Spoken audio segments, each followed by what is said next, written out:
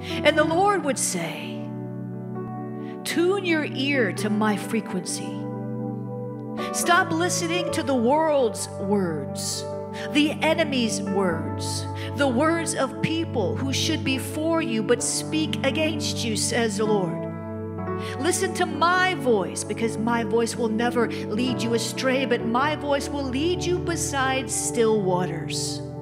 My voice will lead you into triumph, breakthrough, victory, increase.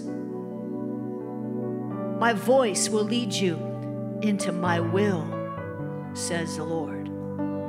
So incline your ear to me.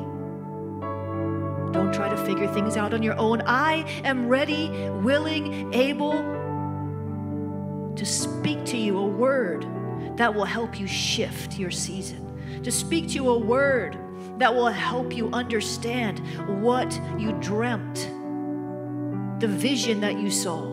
I am able to unpack it. I am able to interpret. I am able to make it plain. I am able.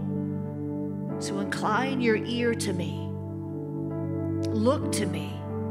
Wait for me. Don't rush it. Just wait for me. I will meet you where you are. I will speak to your heart. Only believe, says the Lord. And we say, Yes, God. Help us tune our ear to heaven's frequency and to shut out every other voice. To shut them out and shut them down, to cast down those vain imaginations and every high thing that exalts itself against the knowledge of God. We cast those things down and out. We make more room for you, more room for your voice.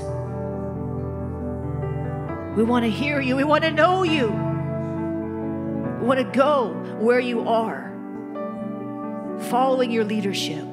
So help us, Lord, in Jesus' name. Amen and amen.